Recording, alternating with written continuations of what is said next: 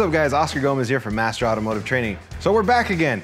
New series today, we're gonna get started with automotive diagnostics. So how many of you guys have ever been caught where the car comes in and you have an issue where it's either a misfire, you don't know if it's mechanical or not? Take the guesswork out of it. What we're gonna show you guys today is how to do a compression test and how to do the three stages and three different types of compression testing. If that doesn't work, the next video that I'll be sharing with you guys in a couple weeks would be how to do a cylinder leak down test. So in this series, we're gonna show you guys how to do a compression test, how to do a leak down test, and also how to do engine vacuum. Go ahead and grab your tools, guys. Let's get ready. Let's hit it. All right, guys, so always make sure that whenever you guys are working on a car, wear gloves. Um, when I started in the industry, if you wore gloves, you were kind of laughed at, but now wear them. You gotta remember that some of the stuff we're dealing with is nasty stuff, okay? So make sure you guys are wearing gloves, protect your hands. You got two of them, you lose one, you're down to one, you lose that one, then you're asked out of luck. So make sure you guys don't lose your hands, wear some gloves, so this way you guys protect your hands when you guys are working on the cars.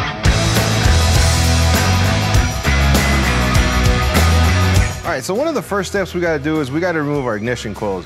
This car has four coils, one coil per cylinder. If your car doesn't have coils, you might have a distributor with spark plug wires. Same process, the only thing is you're not removing a coil, you're removing a spark plug wire. So here I'm gonna go ahead and remove our spark, our ignition coil.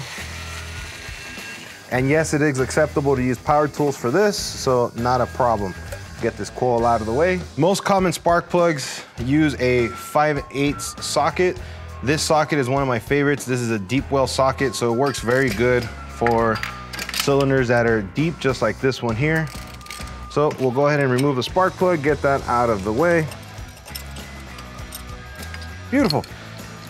Also too, keep in mind when you guys remove the spark plug, this is a good time for you guys to check it for its health. So what we're looking for is the electrode on this one's actually quite dark. Uh, we usually pay attention to see if there's any oil fuel residue or coolant residue on this tip. Another thing you also want to pay attention to is the porcelain.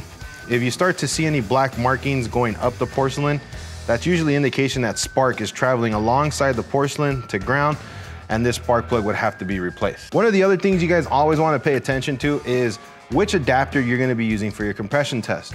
As you guys could tell, we have a longer spark plug, so we want to make sure that we match it up and they're about the same length.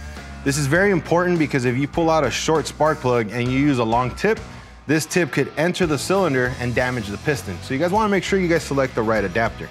Now we have the adapter, we'll go ahead and drop it in and just hand tighten it. Um, I know us technicians have a, a uh, heavy hand or sometimes we like to over tighten things. Don't do so because if you do that, you run the risk of your adapter breaking inside the head and then good luck getting it out. All right, so once that's on there, next thing we're gonna do is we're gonna grab our compression tester. Uh, it doesn't matter what brand you have. I would strongly recommend spending some good money on a good one. If you are gonna be a technician, you are a technician, make the investment, get a good tester. If you're just a DIYer or you're doing this on the weekend trying to find out what's wrong with your car, obviously not gonna go spend two, $300 on a good tester. So something in the $50, $60 range would definitely do the job, okay? Just keep that in mind. So we'll go ahead and set that up on the cylinder, all right? And now, the most important thing, we're gonna do the first test, which is known as a static test. So static test is gonna be cranking the engine over with no fuel, so this way we can get a baseline reading of what the compression should be. So during a static test, you're normally gonna get a higher compression reading, which is absolutely normal. The reason being is since the engine's rotating at a slower RPM, we're going to be able to compress more air in that specific cylinder, giving us a higher reading. So that's absolutely normal. Here, we're only gonna do one cylinder, but in the shop, if you're gonna be doing multiple cylinders, it's always a good idea to get a notepad with you. Start writing down which cylinder it is, what the static reading was, what the running reading was, and what the snap reading was. Those are three tests we're gonna do today on cylinder number three on this vehicle. Make sure you guys document this so this way you guys have that to go back to and reference to know if there's really a problem or not. So what I'm gonna do now is I'm gonna go ahead and pull the fuse for the fuel pump. This way we have no fuel going into the engine. You might be wondering why am I doing this? Keep in mind that while I'm cranking it, these injectors are gonna be spraying fuel. If I'm spraying fuel into the cylinder, I can wash the walls of the cylinder, causing damage to the engine and also causing fuel to go into the crankcase, which we don't want. So we'll pull the fuse for the fuel pump and then we'll go ahead and run this particular test. Let me go ahead and do that. So another thing you could do, I know I mentioned removing the fuse. Some vehicles have what's called clear flood mode. What you're gonna do is you're gonna hit the throttle all the way down, wide open, and when you go to crank it, it's gonna cut injector pulse. So this way there's no fuel. However, not every manufacturer does this. If your vehicle that you're testing does, you could run that method. If it doesn't, go ahead and pull the fuse or the relay for the fuel pump. So now we have everything set up. We're gonna go ahead and crank the vehicle. So one of the things that most technicians wanna pay attention to is the initial rush of compression. What that means is the moment that this engine starts to spin, we're gonna see a, a rise in compression, indicating that the vehicle was able to compress. After that, we're gonna do an equal amount of revolutions or cranks. What I mean by that is, if the engine spins six times or six rotations, we have to do that with each individual cylinder. If we don't do that, what's gonna end up happening is we're gonna get the wrong reading. Then we might condemn an engine that might be good, or we might not condemn an engine that's actually bad. So keep that in mind. All right, so we're gonna, we're gonna go ahead and crank it. All right, so here we did five crank revolutions and our first inrush was somewhere around 60 to 70 PSI. And right now our needle ended up being at about 145 PSI. So this is telling us that this engine is producing 145 PSI of compression. So the engine was able to take in enough air and compress it to 145 PSI. So the next test we're gonna run is called a running compression test. So now that we have our static or our baseline, the next thing we're gonna do is we're gonna start the engine. With the engine running, if the engine's running in good condition, we should have a 50% drop of compression with the engine running. You might be wondering, why am I getting less compression with the engine on than with the engine off? Very simple answer the engine's gonna be spinning at a faster RPM. So now instead of spinning at 100 to 150 RPM, we're actually spinning somewhere around the 700 RPM range. So this means that the engine's spinning faster, less time for air to come in, compress, and go out.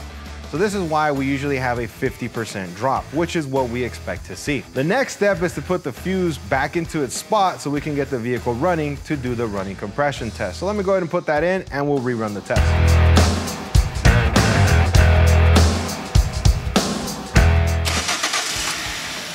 All right, so now that we have the engine running, notice how compression has gone excessively high. So always make sure once you get the car running, first thing you wanna do is burp it. So we'll go ahead and clear it, and then we're gonna wait for it to come back to normal.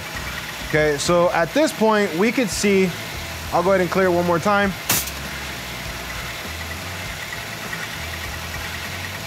So at this point, with the engine running, we're getting about the same reading, if not a little bit more, than with the engine during a static compression.